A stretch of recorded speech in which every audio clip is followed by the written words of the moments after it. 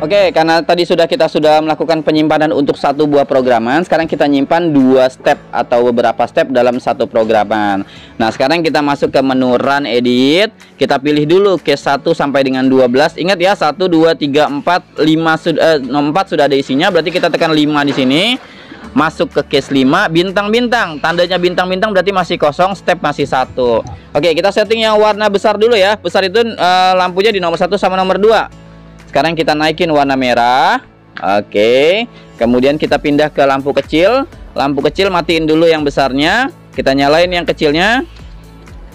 Oke. Kemudian ingat kalau yang kecil nomor satu itu master lampu, nomor dua baru cahaya warna merah. Nah, ini jadi warna merah. Sekarang kita simpan. Lihat stepnya ada 01 ketika kita tekan run scan, step berubah menjadi dua. Sekarang kita atur step yang kedua dengan warna lain. Kondisi sekarang ada di nomor 3 sampai nomor 6 berarti ini masih dalam uh, lampu kecil. Sekarang kita campur warnanya ya. Di sini karena warna merah saya campur warna hijau. Lihat warnanya berubah menjadi agak oranye. Nah, oke okay, ini warna kedua. Sekarang yang besarnya juga saya mau ganti nih. Kita matikan warna eh, nomor 3 sampai 8, nyalakan nomor 1 sama nomor 2. Ya, turunkan dulu semuanya. Nah, merah udah. Sekarang saya campur warna hijaunya sedikit jadi agak kelihatan agak merah ke oranye. Lihat ya ini merah. Saya campur hijaunya sedikit jadi warna oranye. Oke kemudian kita simpan. Kita tekan run scan. Step berubah menjadi tiga. Sebentar ya pak.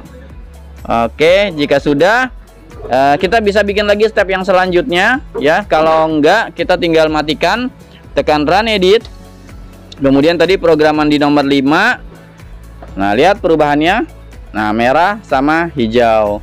Nah, uh, perubahan ini bisa langsung berubah merah kuning, merah kuning atau kita mode cross ketika kita tekan mode cross mode dia akan bermain secara smooth. Jadi merah pelan-pelan pelan-pelan jadi oranye, oranye pelan-pelan pelan-pelan jadi merah. Kita bisa atur mode crossnya di sini nih.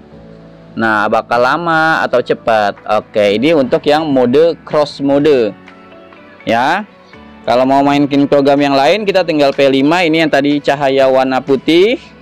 Kemudian P3 ini uh, yang tadi saya buat ada merah, kemudian itu pergantian warna. Kemudian ini seperti ini. Oke, ya.